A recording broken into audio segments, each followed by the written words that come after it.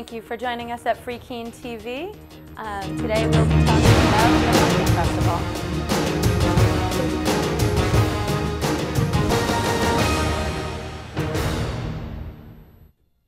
Hello and thank you for joining us tonight. I'm your anchor, Heike Corser. Pumpkin Fest, how could you miss it? This weekend played host to the annual Pumpkin Festival, which brings an estimated 50,000 visitors to Keene. The pumpkins were carved and lit, and true to form, Main Street was awash with pumpkin peepers. Each trying to pick out their favorite and enjoy a wide variety of foods and drink, local businesses were working extra hard to handle the waves of customers. Also this weekend on Sunday, the semi-annual Free Fest took place at Railroad Square. Free Keene Fest has been put on for a few years now with an installment in the spring and fall. Featuring various vendors and live music, the Free Keene Festival is the place to meet the local liberty activists. Here is a short video of the two events.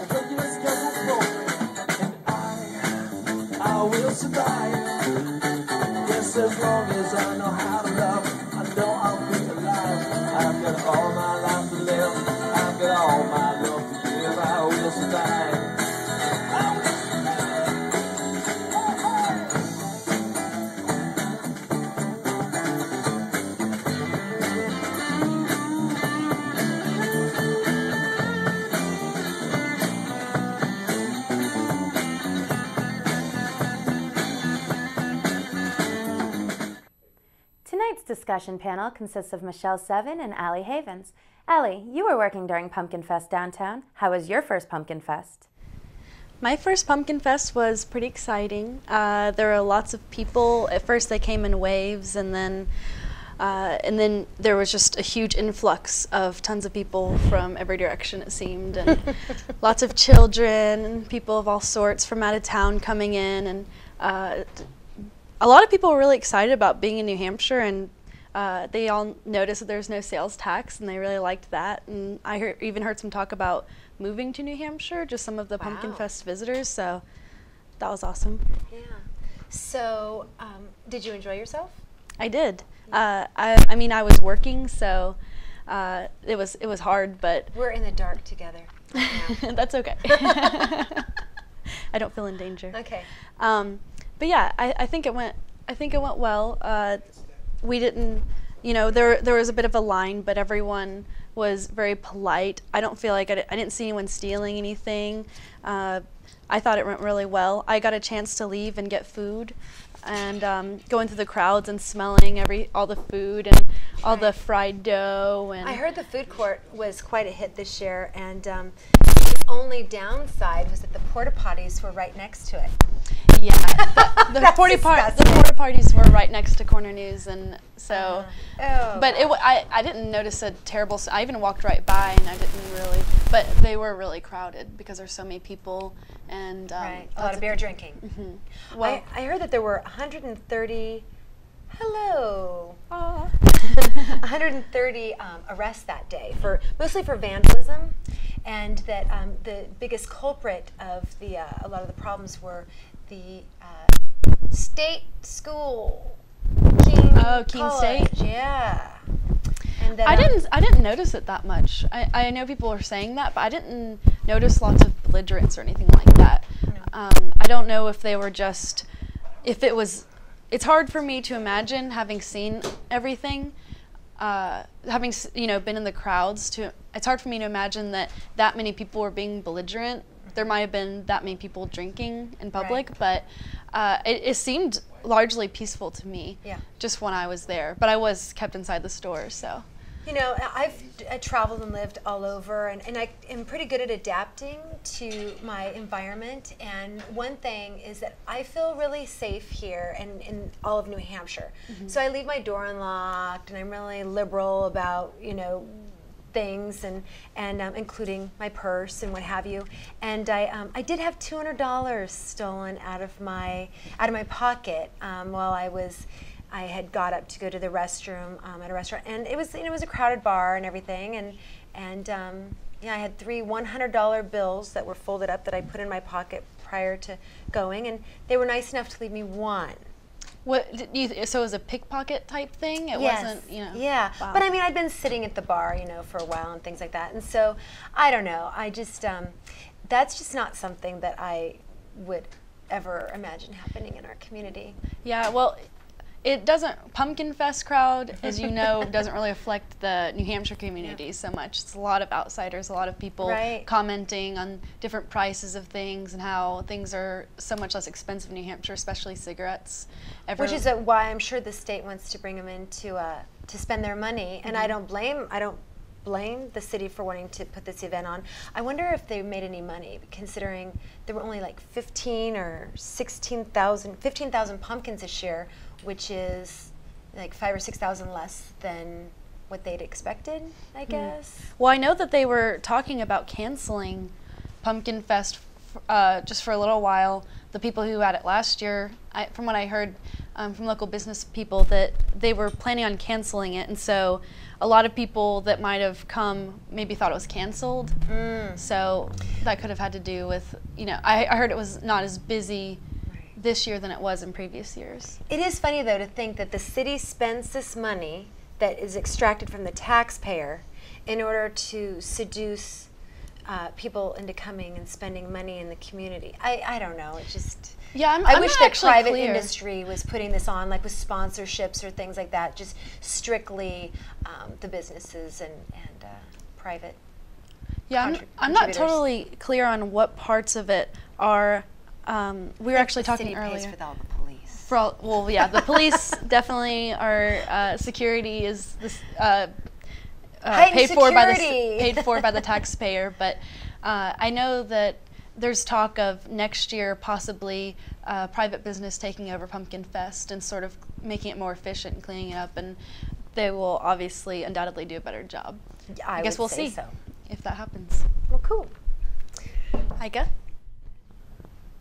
Thank you, Michelle and Ali. This past Friday, individuals from the Occupy Keene movement held a demonstration at the local Bank of America branch at Central Square. Free Keene TV was there to interview the participants and capture their story. Take a look. Hello, this is Derek J. reporting from Occupy Bank of America in Keene for Free Keene TV this October 21st, 2011. A sunny autumn day in Keene, New Hampshire finds a group of individuals outside a local Bank of America. It's Occupy Bank of America Day this October 21st, 2011 in Keene, New Hampshire. These people have had enough, and they're doing something about it taking to the streets with pamphlets urging the passersby to move their money out of bailed out banks like BOA and into local credit unions. Their message is peaceful. They played music and sang songs of solidarity. A pervading thread among the protesters' reasons for the depression is the banks of privilege who collude with the federal government for special favors. Tully Fitzsimmons. Okay, Tully, it's a pleasure to meet you. And what brings you out here today? Well, uh, we're operating in anticipation of November 5th, which is Bank Transfer Day, where we're asking Americans to move their money out of the large, uh, bailed out, fee laden corporate banks and into local banks and credit unions. My ultimate goal here is to change the financial and legal and political structure that permits a corporate domination of electoral politics. I'm a very strong believer in civil disobedience. Why did you choose Bank of America of all of the banks in Keene? We chose Bank of America first primarily because of their new announcements of $5 fees on debit cards, $8.95 fees on deposits in some accounts, um, and the fact that their executives, the top seven executives, are still continuing to sell bad assets to the Federal Reserve, continuing to use taxpayers' money to bail them out, and they just seem to be one of the most egregious institutions. I made it very clear to the people involved in this protest we were not going into the bank, we were not going on their property, we were not going to cause a, a riot. We were talking to customers in the public square. We're off bank property. Cars are driving through as they exit the um, as they exit the drive-through, and I can talk to them now. How is the public receiving your demonstration today? incredibly well. I mean, everyone that I'm talking to is coming out of the drive-through of the Bank of America, and I've I've spoken to over 100 people so far this morning. Every single one of them is upset with the bank, with their practices, with their fees, and with what's been going on at the bank. I'm an economics professor, and so the role of the banks and the Fed um, and the credit crisis on the American public is my particular interest. Okay, so as an economics professor, what's the ideal situation you would like to see for the general public? The, well, the ideal system would be no such thing as a bank that's too big to fail, instead of Okay. protected.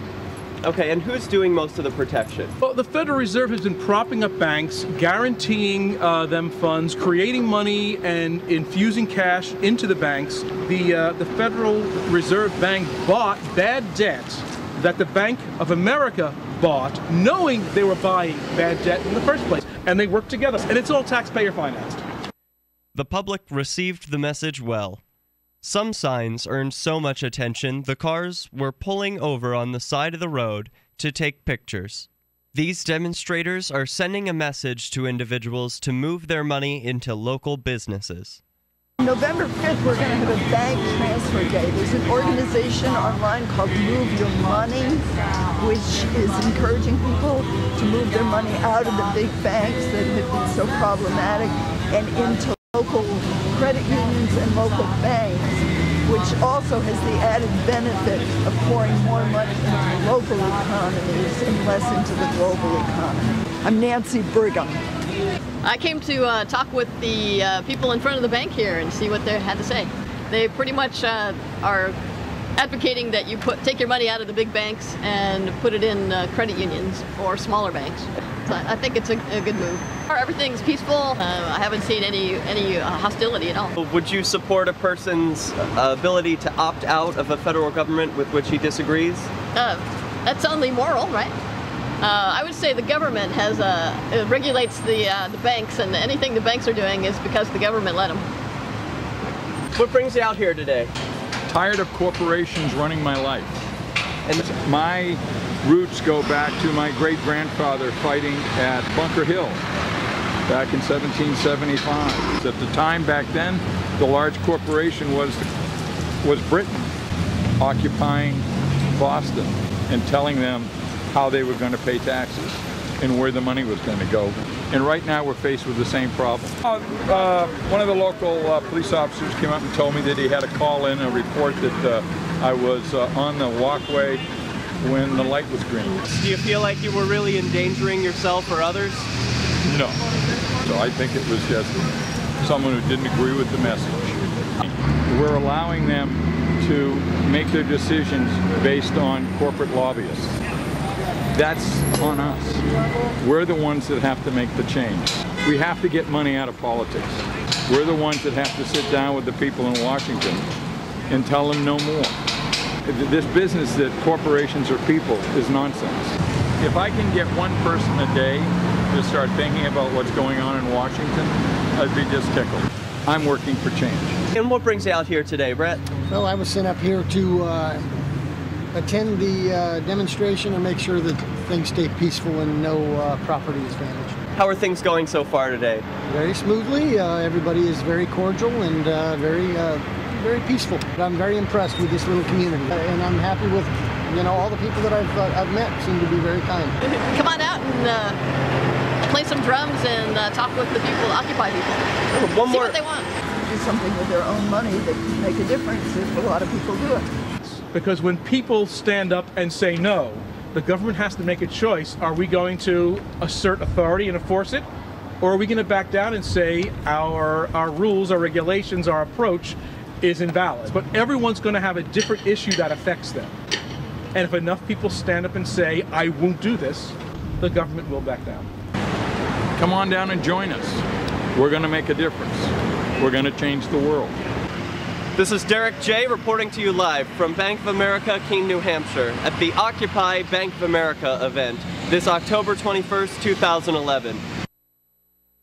What will the Occupy movement bring next? Stay tuned to Free Keene TV for more as this story develops.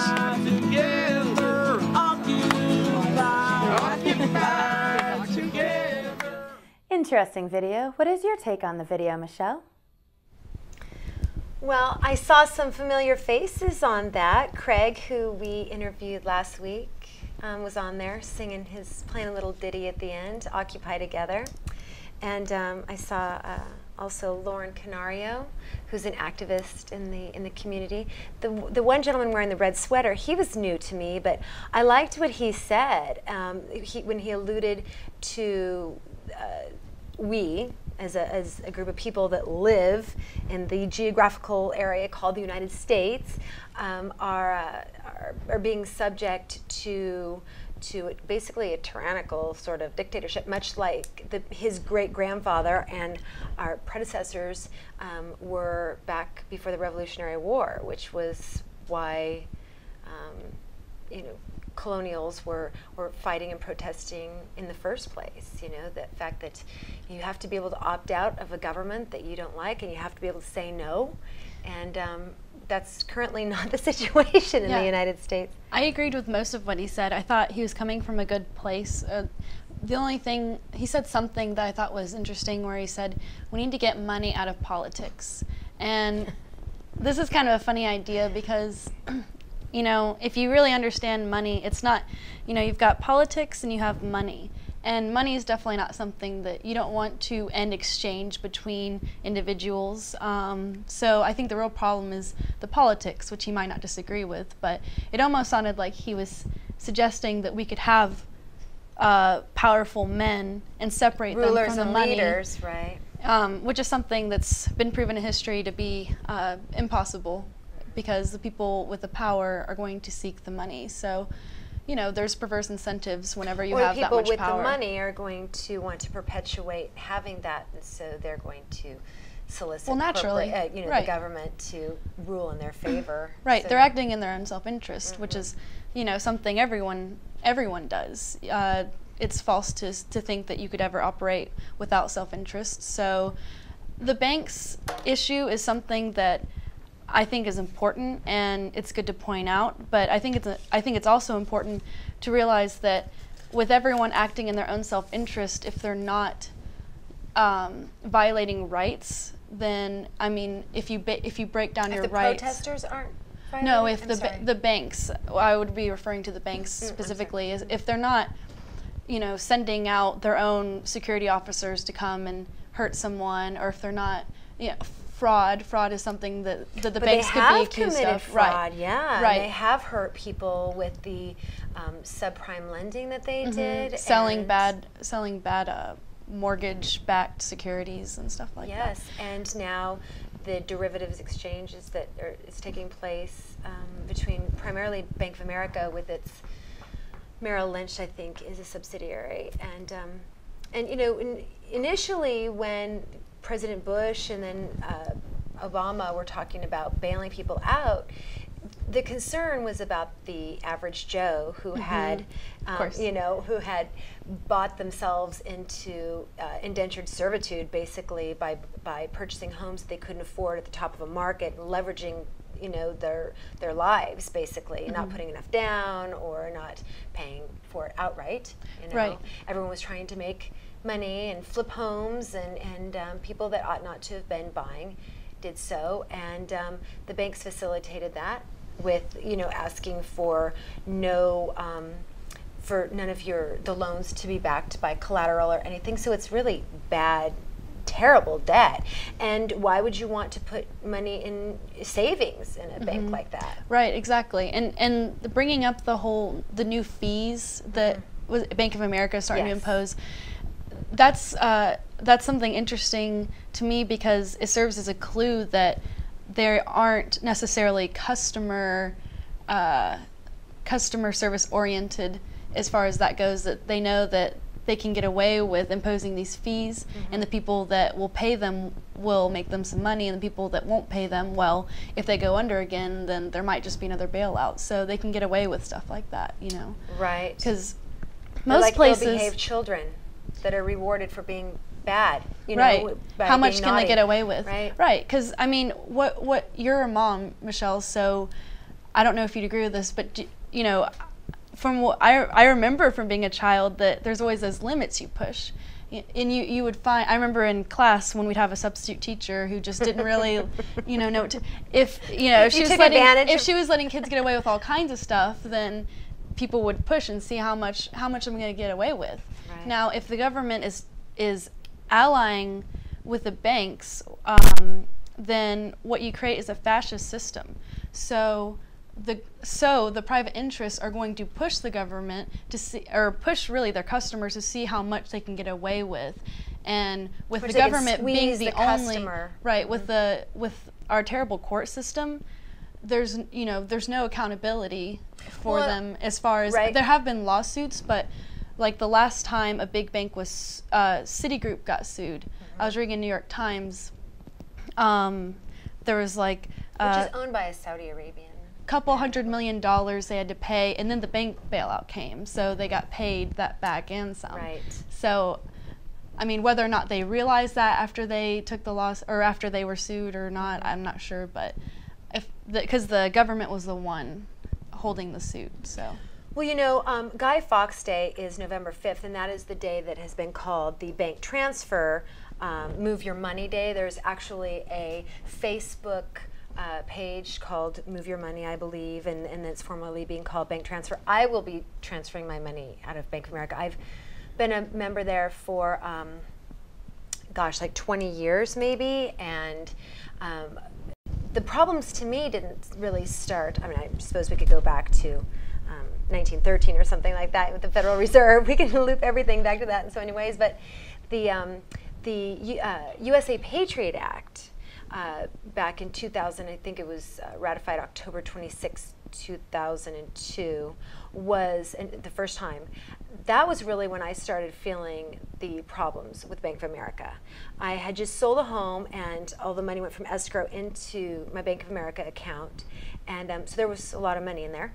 And I went to withdraw $10,000, which was the price of all three of my kids' ski instruction and tickets and everything. It was going to Squaw Valley um, uh, that year, and um, I was told by the bank in, in Lake Tahoe City, in Lake Tahoe, that I needed to give them two days' notice, and that if I insisted on taking my money then, that they could have me arrested, claiming that I was making a run on the bank. I said, but I have several hundred thousand dollars in there. Why can't I have my money? I'm concerned about this. this idea of having a run on the bank, like like that should be some kind of crime.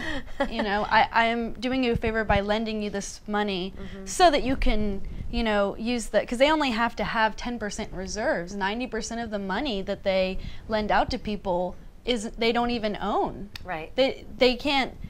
They're the- the- leveraging also. And any bank that doesn't do that, any bank that tries to be principled and only hold money that he actually has in its reserves, is going to go under because they're at a they're they're competing with banks that can that have these special rules around them. So Well, there are there is something called the Weiss rating, and you can look that up. W E I S S. The Weiss rating. Um, they rate banks, and basically, uh, there was only one in California at the time when I lived there, uh, and it was a savings and loan, a farmer's savings and loan, and there was interest that you could actually get on your loans, and it was a, or on your um, savings, and uh, but you could, you, in order to be um, a customer with that bank, you can never have bounced a check ever. And you have to keep you had to keep a minimum amount of money in there, which was I think it was at least twenty thousand dollars, and you you could only withdraw money. You had this you know voluntary contract because they wanted to be able to lend money out and and what have you. So, um, but they just were able to take the cream of the crop in terms of customers, and Right. they could you know guarantee you know offer those kinds of services to them. Yeah, well, ex- exactly. That that's uh, that's a good point because, you know, most people don't have the best credit. Uh, so, you know, borrowing money, paying it back a little late. That's commonplace in society nowadays. I mean, Right.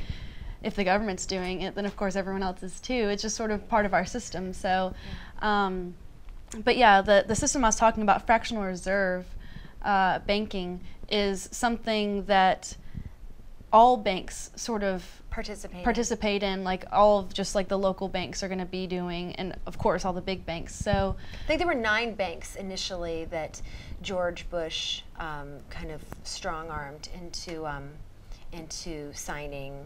Wells Fargo, I think, was one of the last ones to uh, sign the uh, agreement to the bailouts. Even if you if the bank didn't want to be bailed out, it was pressured by the then president and the uh, and the feds actually. Well, now I hear a lot of banks uh, sort of boasting about how they didn't take bailout money, which I, you know, to, to to a lot of to a lot of people that's that's encouraging. Like, oh, well, you know, you were able to succeed without having to take taxpayer money, money. right? Eh, That's a hallmark of a good bank. If you need taxpayer money in order to survive, then you know these too big to fail institutions. Mm-hmm. You know, I, I like what Lew Rockwell says: let failing banks fail. Yes.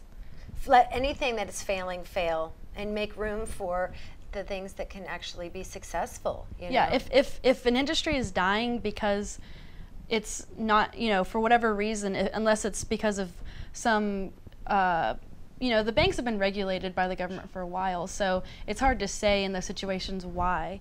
But um, but if if they're failing, then it could be based on something like charging people fees for having, you know, for wanting to take money out or depositing money. But something that could be really uh, useful in the future, and I think it's inevitable, is for people to turn to hard money or gold and silver. Yes. Um, because it's, you know, we might not be carrying, you know, gold and silver coins everywhere, but you know, we could still have the paper money, but it would represent, you know, right. it would represent some How much silver or something that you have in an account somewhere. Right. So that rather than having this paper fiat money that really is worthless, you know, then you actually have a commodity that is.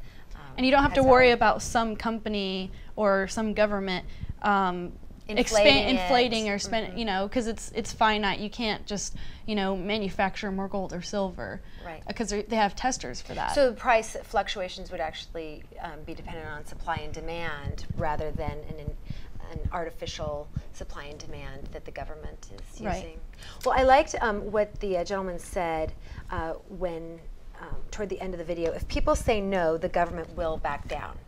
I like that idea. You know, I like the idea of people saying no and opting out and standing up for freedom, standing up for liberty, and declaring yourself to be a, uh, a human being, and by definition of human, be free. Independent, Mhm. free.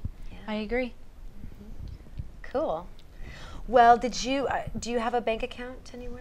Uh, I am at the credit union, um, but we should turn to Heike. Okay. Thank you for joining us tonight. As always, contact Free Keene TV by sending an email to freekeenetv at, or I'm sorry, tv at freekeene.com. I'm Heike Corser saying good night, Keene.